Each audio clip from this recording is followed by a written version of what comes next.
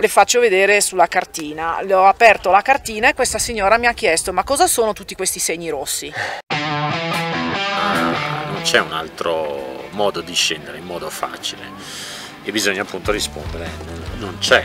Se sei salito da questa devi scendere. Poi uno dice io voglio scendere in elicottero non voglio scendere a piedi.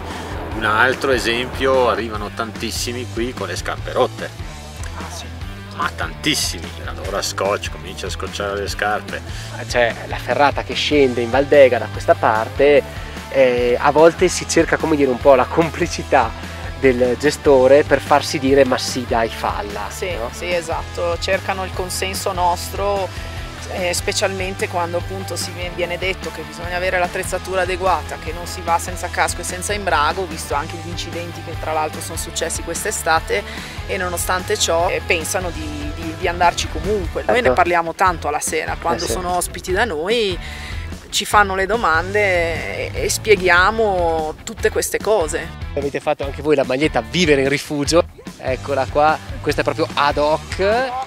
Per vivere in rifugio e Dolomiti UNESCO che ha pensato questa bella iniziativa.